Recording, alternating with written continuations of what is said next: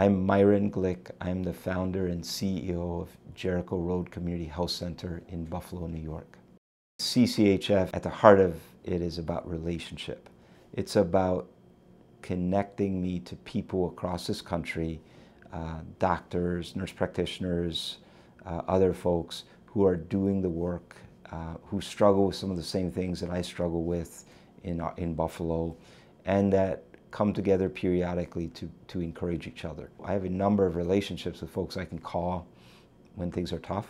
I can send an email and say, how do you, you know, how do you do this? And I can get good advice. It doesn't cost me anything. And then I can also give advice back. I mean, now I'm in a position where people call me and say, well, how do you do your global work? And, and that's meaningful to be able to be, feel like you're part of helping someone else do something that you've done. Coming to the CCHF conference is important to us at Jericho. It's a great investment because, you know, you're always trying to, to give folks a sense of why we do what we do and to, to give folks a sense of our mission and also to encourage uh, our teams. And so uh, we have an application system. Folks get to apply to come here and it's something that's sought after. People enjoy these times and are encouraged by it.